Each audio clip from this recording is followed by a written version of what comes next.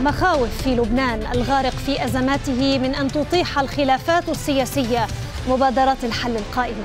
فالمهلة الفرنسية تنقضي غدا والحكومة لم تبصر نور بعد. المخاض الحكومي الصعب يربطه مراقبون بالعقوبات الأمريكية وتشدد مواقف حزب الله وحلفائه. فهل يسقط لبنان في دوامة الفراغ؟ ومن يتحمل مسؤولية إفلاس البلاد؟ في حال تفويت فرصة الحل. من بيروت معنا الليلة النائب عن حزب القوات اللبنانية وهبي قطيشة. أهلا وسهلا بك معنا أستاذ وهبي في غرفة الأخبار من سكاي نيوز عربية. بداية السؤال الأكبر ليطرح الآن. هل يتحضر اللبنانيون لمشهد سوداوي جديد خلال الأيام المقبلة؟ مؤسف أن أقول لك ذلك لأن هذه السلطة الحاكمة هذه المنظومة التي اتفقت مع الرئيس الفرنسي إيمانويل ماكرون لتشكيل حكومة بأسرع وقت ممكن.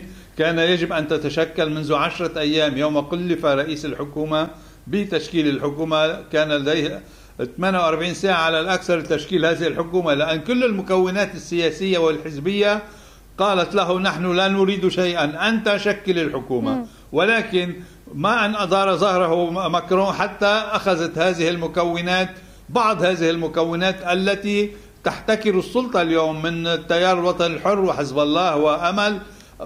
بدأت تضع شروطها على تشكيل الحكومة وتطلب المحاصصة القديمة التي عاست بالبلاد بالبلاد فسادا وأدت إلى تدهور الوضع الاقتصادي والمالي والنقدي في لبنان. عادت من جديد تطالب بحصصها في هذه الحكومة وكأن هذه الوزارات هي ملك لهذه الأحزاب أو ملك لهذه الطوائف. بينما اللبنانيون يتضورون جوعا ويأملون بأن تأتي هذه المبادرة الفرنسية لإنعاش الاقتصاد اللبناني وضخ قليل من الأكسجين لا لإعادة وضعه على السكة الصحيحة. قبل ما أعود إلى هذه يعني المبادرة الفرنسية أود أن أسأل سعادة النائب أليست الكتل السياسية نفسها التي أتت ب أديب يعني رئيسا مكلفا هي نفسها من تؤلف الحكومة المنتظرة؟ ليس كل الكتل. مثلا بالنسبة للقوات اللبنانية نحن من من سنة تقريبا قلنا لهم نحن نطالب نحن نطالب بحكومة من مستقلين ولا نية لنا بدخول أي حكومة نحن كحزب. وطالبنا ذلك منذ سنة تقريبا. وجاءت حكومة حسان دياب وجاءت محورية. واليوم طالبنا بحكومة مستقلين وهكذا طلبنا من من الرئيس مصطفى أديب. ولكن بعض المكونات التي تتسلم السلطة اليوم لا تريد التخلي عن هذه الوزارات وتريد الاشتراك بالسلطة من جديد وكأن شيئا لم يكن. تحديدا أستاذ قطيشة نتابع من, من هم الأشخاص وال... الذين اليوم يوقفون هذه التشكيلة؟ مع العلم أن الشارع اللبناني غير راض لا بأديب ولا بالتشكيلة حتى قبل صدورها.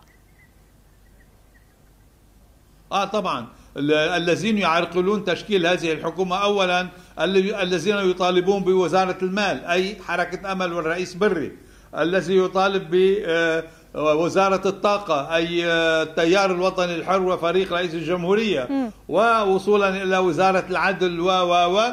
طبعا حزب الله يطالب بواسطة الرئيس بري وهكذا دواليك. الثلاثي الحاكم اليوم هو الرئيس بري حزب الله والتيار الوطني الحر هو الذي يعمل على إفشال الحكومة، إما أن تبقى هذه الحكومة وتتشكل بشروطه، شروط الفساد السابقة التي أوصلت البلاد إلى هذه الحالة، أو أن لا هناك ليس هناك حكومة ويبقى لبنان مسرعا نحو التدهور والانهيار. سيد قطيشة هل للعقوبات الأمريكية التي صدرت على الوزيرين فنيانوس وعلي حسن خليل أي علاقة بالتأخير الحاصل أو بتشدد موقف حزب الله مؤخرا؟ كيف كان وقعها على الداخل اللبناني وعلى التشكيل تحديدا؟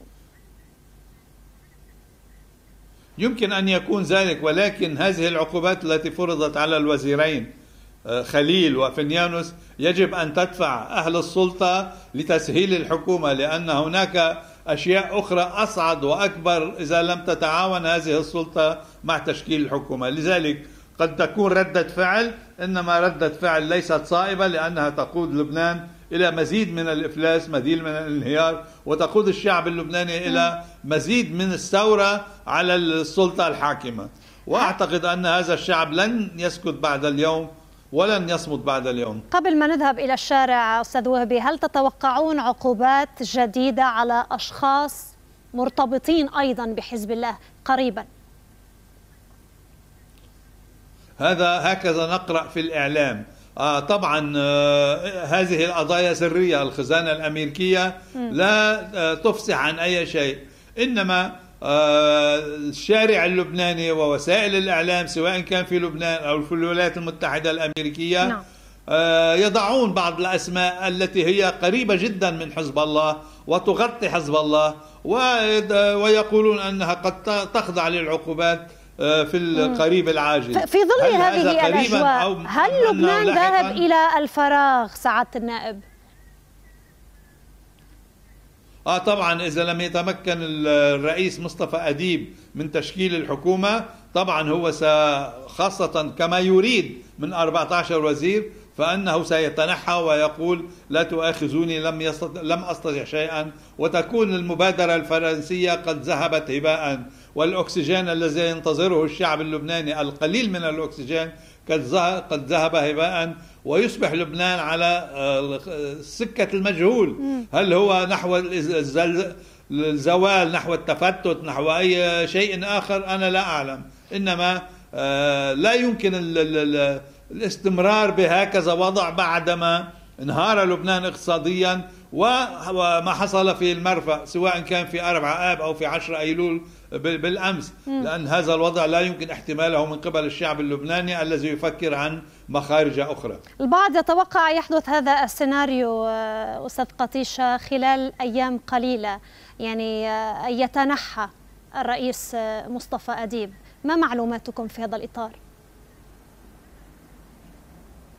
معلوماتنا أن عندما ذهبنا إلى الرئيس مصطفى أديب واستشارنا من أجل الحكومة. قلنا له نحن لا نريد منك شيئا سوى أن تكون حكومة مستقلين لا علاقة لها بالأحزاب اختصاصيين تعالج الوضع ونمنحك الثقة وفقا للبيان الوزاري. فقال أنا آه، جئت من أجل هذه المهمة وإذا لم يتوفر لي أو لم يسمح لي بتشكيل حكومة مستقلة عن الأحزاب أنا أترك آه، أستقيل.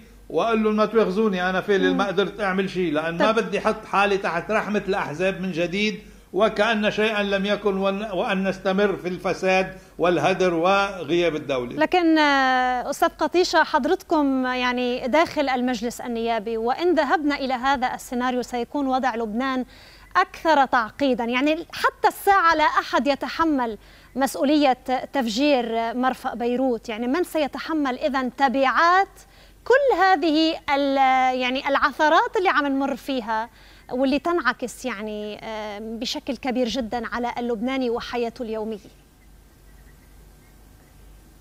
هذا يدل على الفشل الذي وصلت إليه الدولة في ظل هذا الثلاثي الحاكم. هذا الثلاثي الحاكم طبعا هو المسؤول عن تفجير عن تفجير عن الانفجار الذي حصل في بيروت ولكنه لا يريد أن يحاكم نفسه ولا يمكن له أن يحاكم نفسه. وعندما طالبنا محكمة بلجنة تحقيق دولية رفضوا ذلك وقالوا نحن نعطي نتيجة خلال خمسة أيام. صار مارق 40 يوم وبعد لهلا ما عرفنا شو صار بالمرفأ. وبعد لليوم ما عرفنا كيف مشيت الباخرة من جورجيا وإجت على تركيا وعلى اليونان وعم تكزدر ووصلت على بيروت وقعدت كل هالسنين. للأسف. هل هالمواد وما حدا قالنا شو القصة. معقولة؟ معقولة معقولة إنه هي هي المنظومة لو لما هي مسؤولة عن هي الجريمة كانت أكيد عرفت الحقيقة دغري. لأن هيدي دغري بتبين حقيقة ظاهرة يعني إنه باخرة من سبع سنين وحاطة المواد والعنبر مفتوح ومسكر ومخلوع وكل يوم ومين بيفوت ومين بيطلع. ولو شو نحن وين قاعدين؟ مش معقول لأن مشان هيك هي ما بدها تعطي النتيجة لأن النتيجة ستدين هذه السلطة التي هي مسؤولة عن تفجير المرفأ. شكرا جزيلا أستاذ وهبي قطيشة. لكن قبل يعني ما أشكرك أود أن أعرف إن كنتم ستتخذون أي خطوة في حال عدم تشكيل هذه الحكومة كنواب في كتلة حزب القوات اللبنانية داخل البرلمان. هذا كله قيد الدرس الآن إنما الثورة الشعبية والشعب اللبناني اليوم هو ثائر وسيثور أكثر وأكثر وأكثر إذا هذه السلطة تخلت عن مسؤولياتها تجاه هذا الشعب. ماذا سيحصل لاحقا؟ نحن ندرس الوضع لاحقا. لا يمكن الإجابة عن هذا السؤال الآن. شكرا جزيلا لضيفنا من بيروت النائب عن حزب القوات اللبنانية وهبي قطيشة.